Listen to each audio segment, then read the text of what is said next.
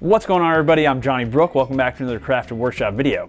In this week's project, I'm going to show you how to build this awesome Bluetooth battery powered boombox made out of solid walnut. This has been a project I've been wanting to build forever and I'm finally getting around to it thanks to the sponsor of this week's video, Bernzomatic, and I'm just so happy with the way this thing turned out. It sounds amazing, it looks awesome, and I just love it. So let's go ahead and get started with the project. I built this boombox out of solid walnut, so I started by breaking down my rough lumber into individual pieces. And if you wanted to simplify this build, you could just use sheet goods like plywood or MDF for the speaker cabinet, or just buy pre-milled lumber.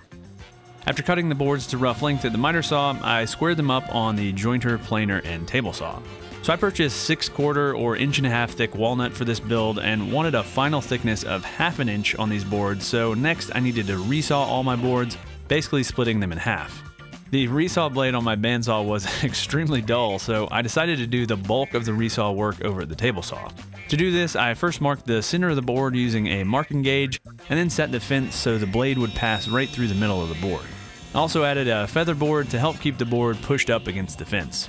I wanted to make this cut in multiple passes, so I started with my blade about an inch above the table and made the first pass.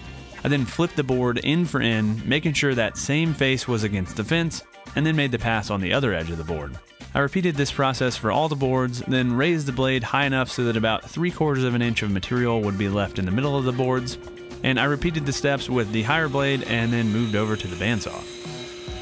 I set up another feather board at the bandsaw to help keep pressure against the boards, and then resawed all the boards, splitting them completely. Finally, at the planer, I could get the boards totally flat and remove that small ridge left in the middle of the boards.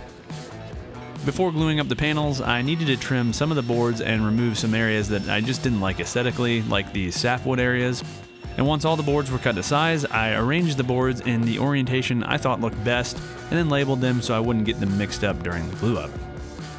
The last step before the glue up was to joint each edge to make sure I got perfect glue lines, and I used this little trick I picked up from my buddy Jay Bates, where you joint two mating boards with the opposite face of each board against the jointer fence.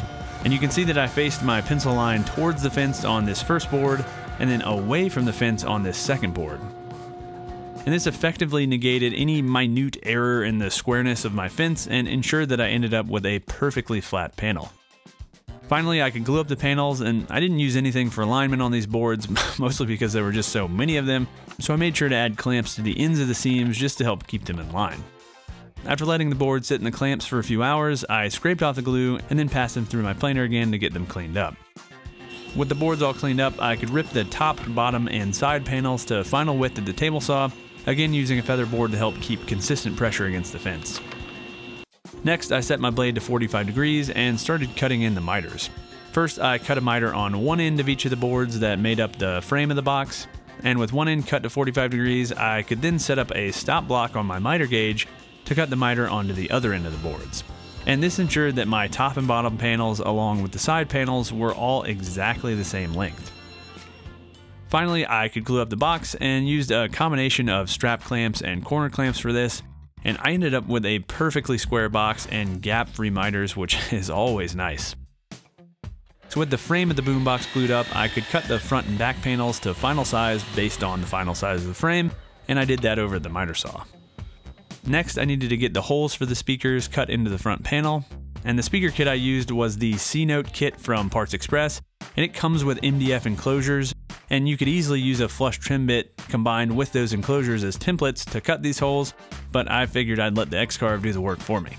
I modeled up a quick design in Easel, which is Inventables' free CAM software, and did a test cut on a piece of half inch plywood to make sure everything would fit right. Once I got everything fitting nicely, I made the final cut on the walnut panel and this whole operation only took about 13 minutes, super quick with a quarter inch bit. After the X-Carve finished, I cut the tabs holding the leftover pieces in place, and then cleaned up everything with a spoke shave and some sandpaper.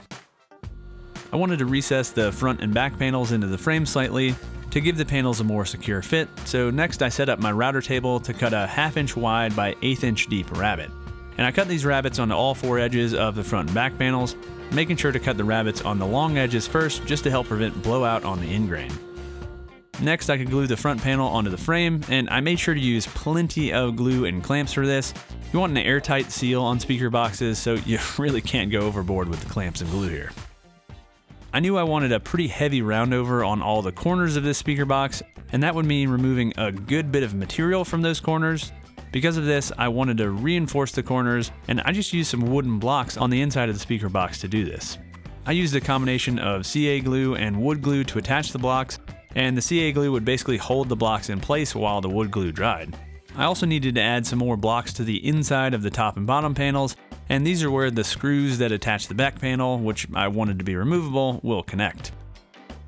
The last piece to add to the speaker box was the center divider, which I frankly kind of forgot about, and you can see that I needed to notch out those blocks on the top and bottom to make room for the divider, and I just cut it out of some half inch Baltic birch plywood, and again I made sure to use plenty of glue here as I wanted an airtight seal. I also needed to add another rabbet to the center of the back panel so that it didn't interfere with that center divider, and I cut that at the table saw. Next, I clamped the back panel in place, pre-drilled and countersunk some holes, then added 1 inch screws to hold that back panel in place. So with the box built, I could move on to getting it cleaned up. First, I used a flush trim bit on the router table to clean up any of the overhanging areas on the front and back panels, which I purposely cut slightly oversized.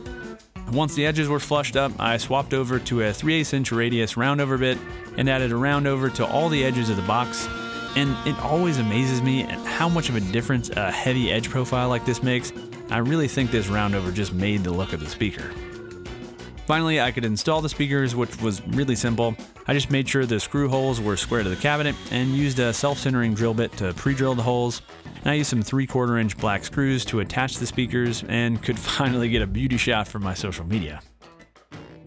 Next up in the build was the part I was a little bit nervous about, which was building the crossovers. And this was actually my first time ever soldering, and there were a ton of connections to solder here, so you can see why I was a little nervous. And in case you don't know, crossovers split the audio signal between the woofer and the tweeter, sending those higher frequencies to the tweeters and lower frequencies to the woofers. And again, these crossovers were part of that C-Note speaker kit I used for this project, and there are extremely detailed instructions on how to wire those crossovers included with that kit. But basically, I just needed to connect the different components of the crossover itself, and also add wiring to connect the crossovers to the speakers as well as the amp. And while I'm soldering, let's talk about the sponsor of this week's video, Bernzomatic. I used both the Bernzomatic ST500 cordless soldering iron and ST2200T detail torch on this project, and they're both perfect for use on soldering jobs. Both torches are butane powered, which means they're cordless and completely portable, perfect if you need to solder something away from an outlet. I also used Bernzomatic rosin core electrical solder for this project, which was extremely simple to use, no flux required, and whether you're a professional tradesman, DIYer, artisan, crafter, or even a chef, Bernzomatic has the right product for countless different projects. So to learn more about the soldering torches, solder, and Bernzomatic's other products, check out the link in the video description below, and thanks again to Bernzomatic for sponsoring this week's video. After soldering the power jack to the leads from the amp board, I could strip the ends of the speaker wire and add these crimp connectors to easily connect the speaker wire to the speakers. So with all the wiring complete, I could move on to adding holes for the various ports, LEDs, switches, and the carrying handle. And this was actually one of the more tedious parts of the build as a lot of those components had different size posts, so I had to use a caliper to find the correct drill bit size to pre-drill these holes. I also needed to use a Forstner bit on the inside of the cabinet to allow the components to feed through, and most of these parts only had a threaded area of about a quarter of an inch in length, so I had to recess these holes to allow those threaded areas to protrude through the cabinet. I also added some rubber feet to the bottom of the speaker cabinet just to keep it from rattling when playing music. The last holes I needed to drill were for the ports on the bottom of the cabinet, and these ports were an inch and three quarter in diameter, and I don't own an inch and three quarter drill bit, so I needed to get a little bit creative here. So first I drilled an inch and a quarter hole, which was the closest size bit I had on hand, with a Forstner bit, and then used the X-Carve to cut a template. I then mounted a flush trim bit in my router table, attached the template to the bottom of the cabinet with some double stick tape, and routed out the hole. And obviously you could just buy the correctly sized Forstner bit, but I couldn't find one locally. This saved me about 20 bucks, and I thought it was a pretty clever solution. With all the holes drilled into the speaker cabinet, all that was left to do was to sand everything up to 180 grit and prep for finish. For the finish, I went with a wipe-on polyurethane, mainly because I had just enough left in the can to use it all up on this project, and I wiped on three coats, letting the finish dry about six hours between coats. And I just love the way this finish popped the grain on this walnut. It's absolutely beautiful. I also sealed the inside of the cabinet with some spray polyurethane, which wouldn't be necessary if I had used MDF or plywood for the box, but I figured this would help to reduce any seasonal expansion and contraction. Once the finish dried, I could get to final assembly of the cabinet. I added this half inch sound damping foam to all the inside faces of the cabinet except for the front baffle, and the foam has a peel and stick backing, and I just cut it to size with some scissors, making sure to cut around any of those holes I had drilled earlier. I could also get the crossovers and amp board mounted to the inside of the cabinet, and I used screws to do this and just screwed them into the center divider.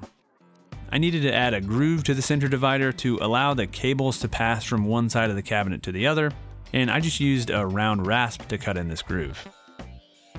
Finally, I could install all of those switches, LEDs, rubber feet, handle, and ports, attach the back panel, and then drop in the speakers. And with the speakers installed, this boombox was finished and all that was left to do was to try it out.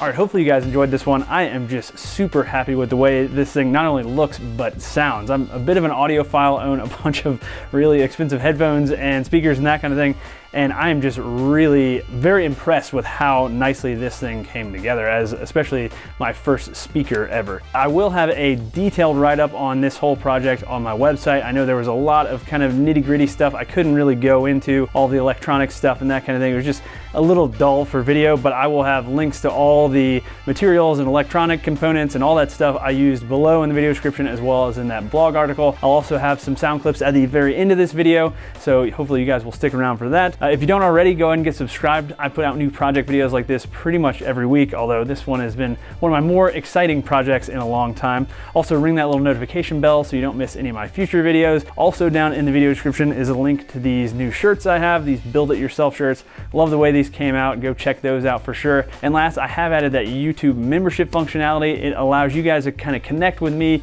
behind the scenes, month to month, really cool. I'll have a link to that somewhere on the screen as well as in the video description below. But uh, hopefully you guys enjoy this one. And without further ado, let's hear some sound samples of this thing.